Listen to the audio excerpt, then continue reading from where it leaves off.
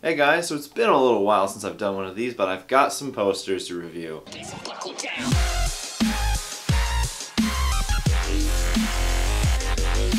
Now admittedly this is actually from the Vancouver Fan Expo that just passed, but I was really late on the ball for doing a video in correlation with that, so I'm just gonna name this something else. Either way, I have three different posters for you. The first one is one I got for free. This is for uh, Fire Engine Red. This is a guy who's doing a Kickstarter for a comic series, which passed, by the way. His He reached his goal, so congratulations to him. Anyways, he had a different uh, bunch of posters that were kind of reminiscent of 90s and 80s posters. Uh, this obviously looks like the Die Hard poster, like Bruce Willis's face here and Nakatomi Plaza would be here.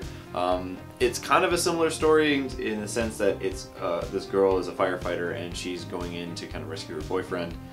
Um, uh, there's all these kind of homages to movies from the 80s and the 90s. So it was really cool to see this one. Um, he was just giving a few of these for free. And uh, again, congratulations on him passing his Kickstarter. Really happy for it, and it's a cool print. I actually like it. Now the second one is a sad one, but it's a funny one at the same time. This is from Cult Classic Posters. This guy I've actually bought from him several times. I have a Freddie Mercury Who Wants to Live Forever one, uh, the Leon the Professional one, which is uh, oh, right here. That one was from him, and now I've got a new one, the Lahey. This is is very hard to see but if you look real close, it's every single shitism that Lahey ever said. All in the background there. The one thing I'll admit is I'm kind of a little, I wish that he had, I don't know, made it bolder or made the label not so black here because you can't see shit of what's there. Um, but otherwise, this is awesome. I'm very happy for this. Again, it's very sad. It's been a year now since uh, the actor died but I'm very happy to have this, so uh, I'll have a link for that. The last one is also from someone who I've gotten from before. Uh, Shaun of the Dead's just drowned here. You can't see it really. But this is from Fabled Creative. This is husband and wife team out of Toronto, and this is what I got from them.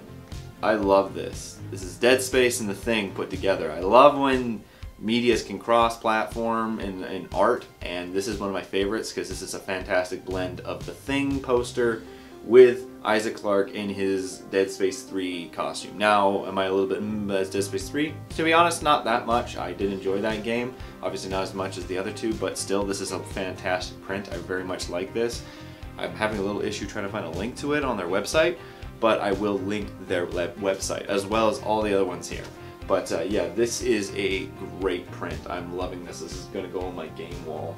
Uh, prints here. But yeah, this is a fantastic print I'm very happy with this. Well, I hope you enjoyed this uh, little video. Uh, I got links to either the prints themselves or the people who uh, make these prints uh, in the description below. So if you guys want to check out their work and maybe order from them, that's real, that'd be an awesome time. These guys were great. There were so many really good artists that I actually wanted to talk to, but mainly my thing was to go to talk to Kevin Conroy, which I'll be talking about in another video probably soon.